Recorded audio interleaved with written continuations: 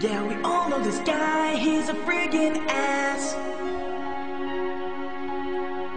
Yeah, he calls himself a doctor, but he hasn't passed a science class.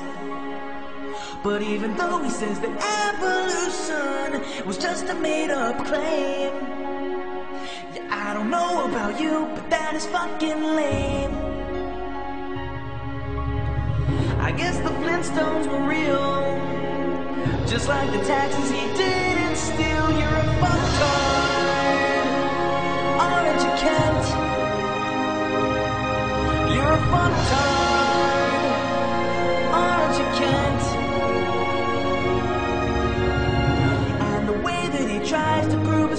He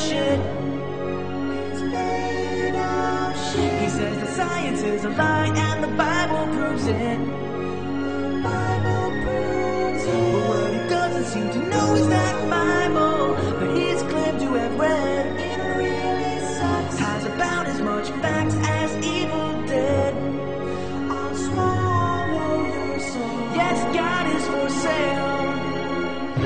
That you fucking rot in jail. You're a fucktard.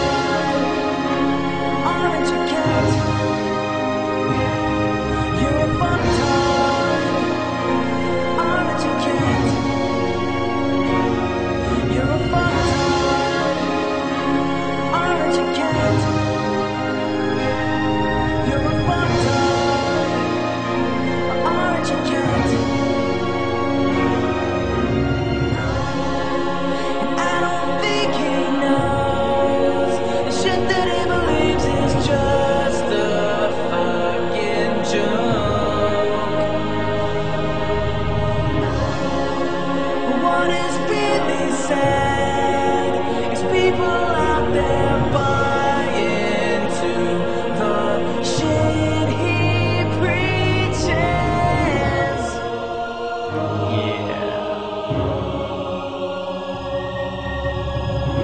This one's for you, Kent.